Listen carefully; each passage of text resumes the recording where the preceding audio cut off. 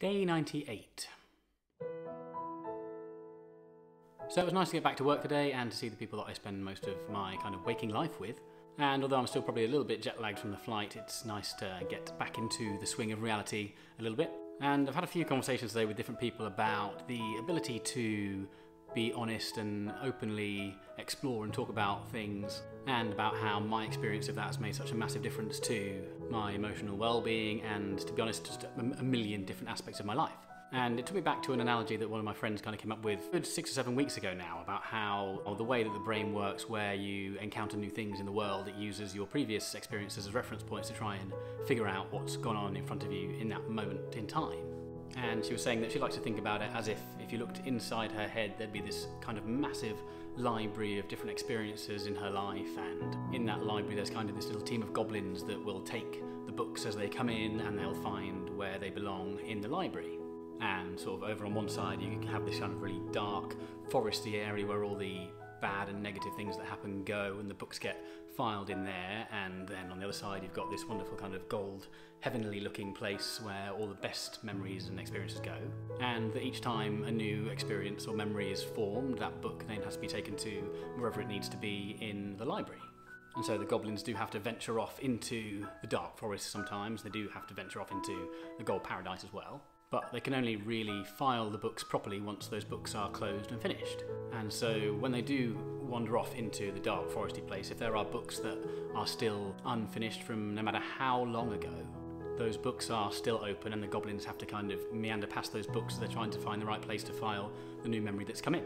And because the goblin's job is to try and categorize and file all the books in the entire library each time it comes across an unfinished book, it tries to use the new learning from the new experience that's happened in the book that it's just been given to see if it can try and use that to resolve some of the other books that are left open. So even though in our kind of consciousness we're not going over those things that are still unfinished in our past, but the way that our minds are wired to try and draw links between different pieces of information to draw conclusions, a lot of that stuff is still going on in the background. And if I think about my experience of really delving into my past and just exploring some of those books that are still open, I can start to understand those occasions and experiences so much more, which almost allows me to come to natural resolutions on them in my own way. And so, a hundred days ago, when I had a load of goblins trapped down in this dark foresty area with all these open books that are unfinished. And because there was so much stuff, that is where my subconscious was all the time. There was constantly things going on in that area. Now that so many of those are now resolved and filed in their place, and I come to terms with them, the goblins that work in my library can spread more evenly across that whole space. And when new experiences come in, even if they do belong in the dark foresty catalogued area, then it's quite simple for one of the goblins to take it over there and to file it in its right place because it's not surrounded by a thousand other dark books and other goblins trying to figure out all those problems. And the only way I was ever going to come to terms with all those things was to actually explore them and be totally honest with myself and with other people and sometimes professionals about those experiences because otherwise the book would never be finished and then it'd never get filed and it would just stay in that mess of a jungle that was in the dark little forest place of my mind and we all have unfinished and open books in our dark forest spaces. And sometimes we end up with too many books open in that area. And I've heard sayings like, well, talking's not going to help me, what's that going to do for anybody? It's the talking that acts as that physical vehicle to be able to actually explore those things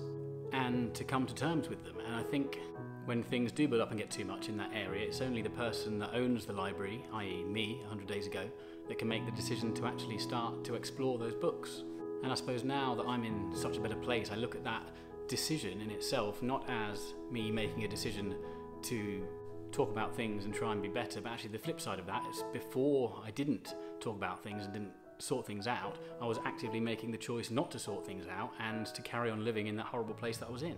But that place can be all encompassing and impossible to escape from, and you lose sight of ever not being in there, and that persona becomes the identity that you attach yourself to, and it almost becomes addictive. And that's not even just necessarily mental health related, it might be getting into arguments with people, and you end up in that kind of twisted world where you almost gorge on the distress, or it could be anything.